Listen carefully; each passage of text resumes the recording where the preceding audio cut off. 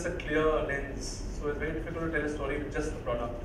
And it's important to kind of uh, you know create a larger than life experience within that. So we have these modular display systems at the facade level that are configurable for driving traffic and commuting pedestrian traffic. So what you have is visually you can kind of, uh, by the way visuals are designed in place, you can create a journey of your own within the store.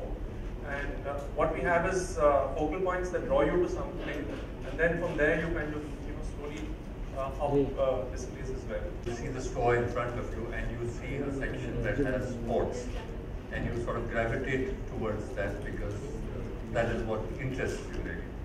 And you walk towards that and the visuals uh, connote sports there. The, the, the frames that you see are sports frames, everything about it. You select a frame from there. Uh, the style consultant will actually come up to you and will talk to you that you've selected a sports frame now. What sport do you play? And he will direct you back and take you back to lenses and talk to you about the lenses that we have for your particular sport. So that's the whole buying experience really. Blue itself specifically that we've picked up is uh, it's uh, it's on the cooler side.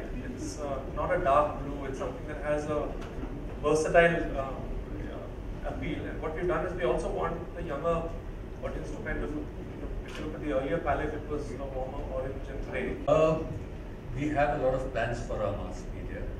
Whether the store will be part of it or integral to the mass media campaigns and so on is something that you will see.